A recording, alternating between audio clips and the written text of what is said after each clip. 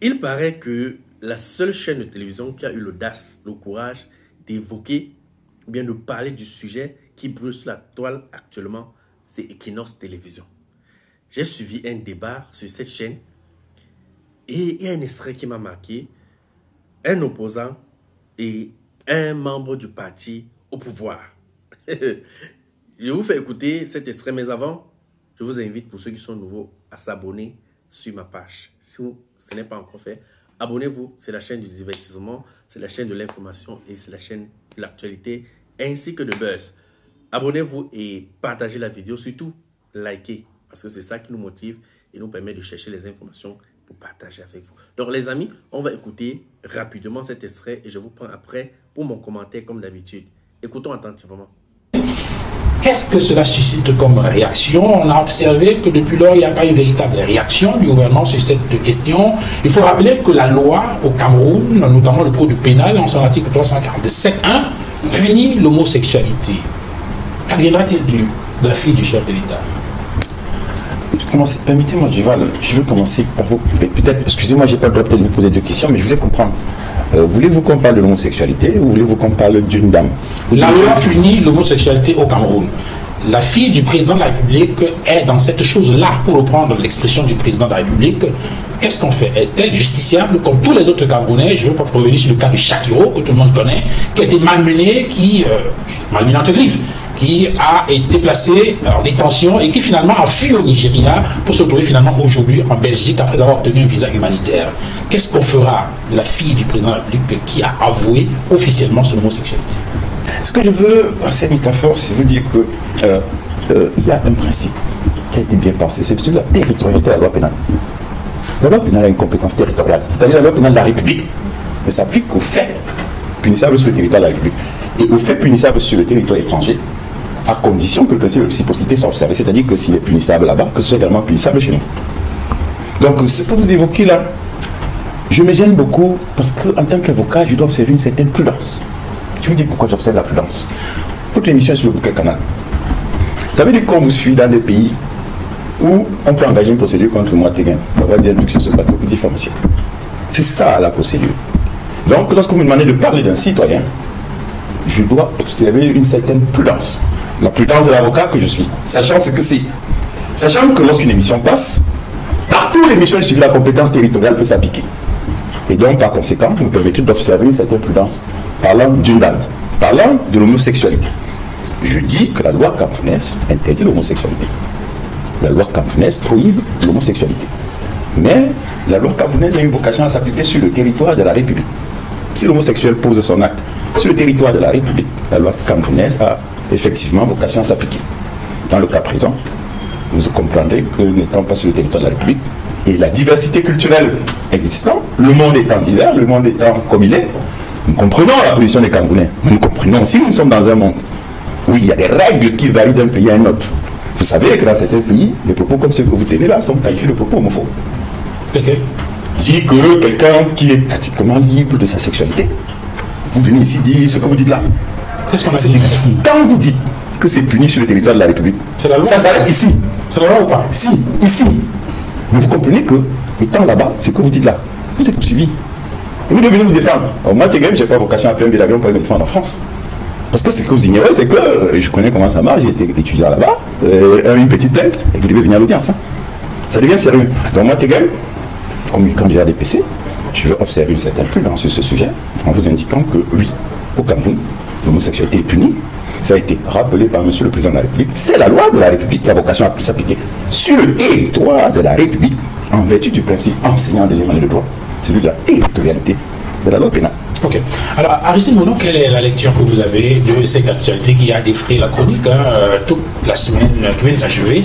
C'était le principal sujet de débat sur les réseaux sociaux. Déjà, l'attitude de l'opinion publique camerounaise, les médias en particulier, en dehors du groupe euh, La Nouvelle Expression, je n'ai pas vraiment vu un autre média prendre à son compte le traitement de cette information, de cette actualité. Et cela m'a rassuré qu'ici au Cameroun, il y a des sujets à risque pour certains, des sujets qui bénéficient d'une certaine immunité médiatique et que d'autres pourraient s'imposer comme des sujets bois blancs. Le cas de Shakiro avait été traité. Le cas de Gaël Nganamut avait été traité avec des débats comme celui d'aujourd'hui dans des médias importants. Mais concernant le cas de la fille du chef de l'État, on a observé un silence assourdissant très curieux. Un silence qui découle à la fois de la peur et aussi de la complicité clientéliste. Vous avez vu ou observé toute la gêne qui a animé Maître Tekem tout à l'heure en parlant de ce sujet. C'est une complicité clientéliste. Il ne veut pas nuire à ses intérêts. Ses intérêts d'avocat et ses intérêts d'homme politique. Il préfère fermer complètement la bouche sur un sujet aussi grave. Vous avez également observé chez les acteurs de la société civile un certain mutisme très très inquiétant. Il faut rappeler que ce sujet pouvait être banal si il n'y avait pas l'image de la présidence de la République et aussi cette forte publicisation, pas publicisation, médiatisation des pratiques homosexuelles. À la suite des premières images, il y a eu d'autres qui ont suivi, plus graves et plus choquantes.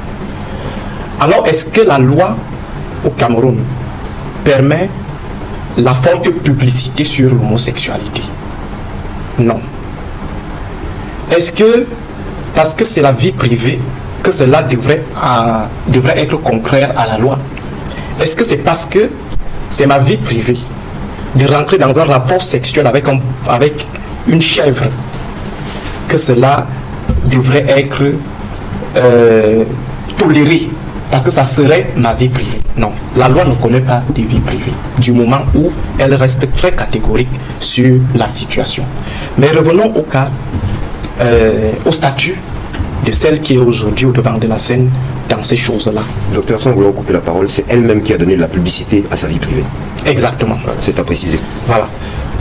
Donc il n'y a pas vraiment une césure étanche entre la vie privée d'un homme politique et sa vie publique. C'est pourquoi nous préconisons toujours une certaine hygiène de vie qui cadre avec des ambitions politiques. La loi, je ne vais pas revenir sur ces dispositions, elle est formelle sur ces pratiques. Flagrant délit ou pas, je ne sais pas si pour qu'on pas attraper un voleur qui est reconnu, il faut d'abord qu'on le trouve en train de voler. Je ne sais pas trop. Mais du moment où lui, vous dit que je suis voleur, j'assume mon statut de bandit. Je ne sais pas qu'est-ce qu'il faut encore chercher dans le flagrant délit. La personne a assumé. Alors le, la loi est claire et le président de la République, ainsi que sa femme et leurs enfants, doivent être les premiers à donner le ton pour ce qui est du respect des lois de la République. Deuxième chose, les valeurs collectives camerounaises, les valeurs de la société camerounaise, pour l'instant, ne tolèrent pas les pratiques homme-homme, femme-femme, les pratiques d'homosexualité, y compris la zoophilie. Jusqu'à ce jour, notre société ne tolère pas cela. Ça veut dire que même s'il n'y avait pas eu une loi qui pénalise l'homosexualité, les valeurs devaient pénaliser l'acte qui est en train d'être posé par la fille du président de la République. Et si aujourd'hui, on n'arrive pas à dire le droit ou à engager même ne serait-ce que des procédures pour voir clair, parce que Maître Tegem, lui, il est dans, euh, dans l'opératoire, il parle de la territorialité. Est-ce qu'il a mené une enquête pour voir si Brenda n'a pas fait ça ici? Pourquoi il est si affirmatif? Il est si sûr de lui que ça s'est passé ailleurs. Il se base sur quel élément? Or, les photos qui ont été envoyées, des vidéos, doivent être rapidement saisies par des enquêteurs pour donc voir clair et voir si effectivement ça s'est passé ici ou ailleurs. Et sur ce principe même, il y a beaucoup de choses à dire. Pourquoi lorsque les activistes font, posent des actes qui n'arrangent pas Yaoundé, on les attend à l'aéroport de Simalène? Pourquoi on ne dit pas qu'ils ont fait ça en Belgique, ils ont fait ça en France? Pourquoi on les suit ici au Cameroun et on les craque Pourquoi? C'est pourquoi je dis pour une société qui se veut juste et équitable, il est important qu'on ouvre ne serait-ce qu'une procédure contre la fille du président si elle est malade. Parce que certains peuvent convoquer cette hypothèse. Et ce qui est également, ce qui est possible, elle peut être une malade mentale, on ne sait jamais. Si elle est malade, que la République s'occupe d'elle. Parce que c'est notre devoir aussi de protéger l'image de l'institution qu'incarne le président de la République en disant on ne peut pas, on ne peut pas accepter que la fille de notre président s'exhibe de manière ostentatoire dans une histoire qui est totalement réprimée dans notre pays, qui qui n'est pas également tolérée. Même si c'était toléré, rien ne, ne- n'est-ce pas, les relations hommes-femmes sont tolérées au Cameroun. Et monsieur Duval, allez donc mettre vos gymnastiques euh, de nuit sur les, sur les réseaux sociaux. Mais on va vous poursuivre. Donc ça veut dire que ça va même au-delà de la question de l'homosexualité pour convoquer la question de la pudeur publique. Donc je crois que Maître Tekem qui veut la République exemplaire devrait commencer par rappeler aux membres de son camp ou de son clan qu'il faut observer d'abord la loi et en plus observer les valeurs. Je dis bien le Cameroun a ses valeurs. La France a ses valeurs. Vous avez peur. Pourquoi vous n'imposez pas la polygamie aux Français? Mais quand c'est l'homosexualité, vous commencez à, à, à, à, avoir peur en disant non, vraiment, ils, ils peuvent vous porter plainte. Donc on ne peut pas porter plainte aux Français euh, euh, par, par rapport à leur position sur la polygamie. Ne ratez surtout pas cette promotion au complexe Las Vegas. Avec 600 000 francs, le complexe Las Vegas met à votre disposition une salle purement climatisée de 300 places avec des tables, des chaises décorées comme vous pouvez voir là, couverts, tapis rouge, deux chaises royales pour les mariés, une chambre de noces, une voiture, y compris le chauffeur pour les mariés, le DJ avec l'arsenal musical. Ne ratez pas cette promotion. N'oubliez pas surtout qu'au complexe Las Vegas, il y a également un motel de 20 chambres, 10 chambres VIP, 10 chambres classiques, un snack bar, un restaurant. Il y a également un espace pour cuisiner. Il y a le château d'eau, sans oublier le groupe électrogène en cas de coupure électrique. Contactez rapidement le complexe Las Vegas qui est situé au niveau de Messassi, Pont et Mana. Ne ratez pas cette promotion.